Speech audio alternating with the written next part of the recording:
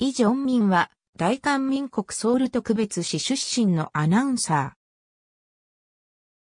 ー。SBS ゴルフアナウンサーを経て2005年に31期公開採用アナウンサーとして韓国 KBS に入社した。ソウル駅村小学校、恩平中学校卒業。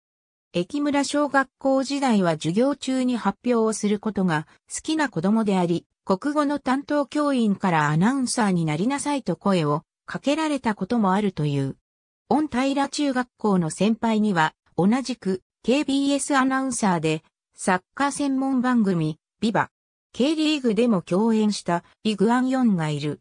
01女子高等学校38期生として過ごした。後東国大学校新聞放送学科に入学し、広告広報学を専攻。在学中に 2002FIFA ワールドカップを経験した。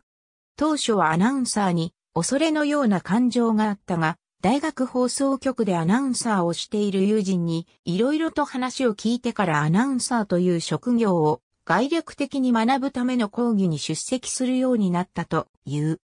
2003年、大学4年生の時に SBS のアナウンサー採用試験を受け、全5回の試験のうち第4次試験まで合格した後、SBS ゴルフのアナウンサーとして入社。同局でゴルフトゥデイに出演するなどして6ヶ月間経験を積んだ後31期 KBS の公開採用試験を受験し合格した。2007年バスケットボールの専門番組、ビバ、ジャンプボールに出演。同年、ビバ、K リーグで初の女性司会者として起用された。